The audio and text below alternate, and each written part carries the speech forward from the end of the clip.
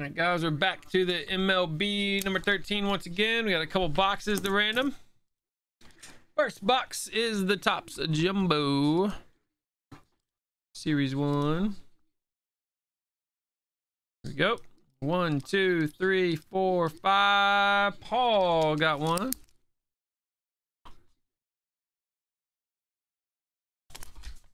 All right, and then we got Prizm 19. One, two, three, four, five. Brian got a box of Prizm 19. And going up.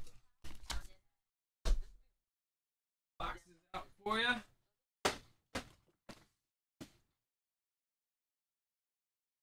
Go.